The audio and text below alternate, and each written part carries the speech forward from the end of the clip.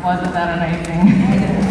okay, and we, the other week, we were trying our music in a different concert order, and we ended up having to put that one at the end because it got them so excited that they were playing all that other stuff that you've already heard really loud. I'm like, okay, we got to get the control under control first, and then we'll do the loud stuff. So they love that one. This next piece, our last piece, is called Night Shift.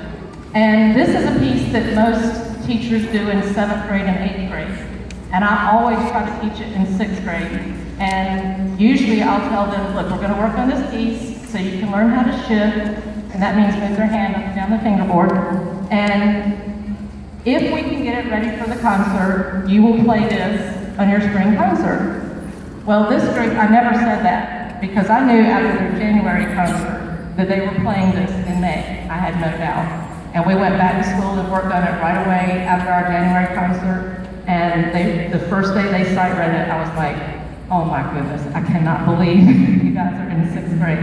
So then some of them even went online and looked it up and found a bunch of eighth grade orchestras playing it. So I'm very proud of these guys for being able to do this. Thank you so much for sending me these students. This is how I end my day every single day, and I go home in a great mood because they are this awesome every single day. So thank you very much for allowing them to spoil me.